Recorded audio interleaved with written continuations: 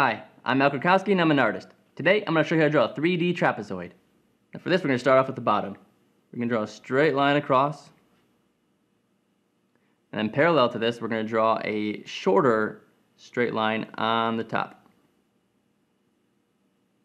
We're going to cut it short. Make this a little bit longer down here. So all we have to do now is connect these two points. And there. And that is your 2D version of the trapezoid. Kind of looks like a triangle with the top cut off. And make it 3D, we're going to add a vanishing point right there. Now this helps determine your perspective in the drawing. Wherever this is, is wherever you're looking. Now all I have to do is connect all these points to your vanishing point. One, two, and three.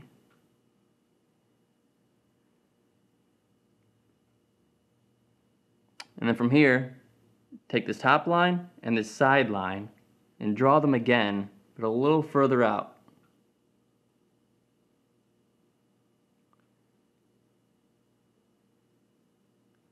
And once you have that, erase your vanishing point and these lines that you don't need anymore.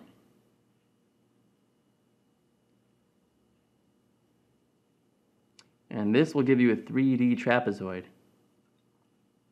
And after you have that, you want to go back in and do some shading. So we'll shade this side, and we'll shade the top.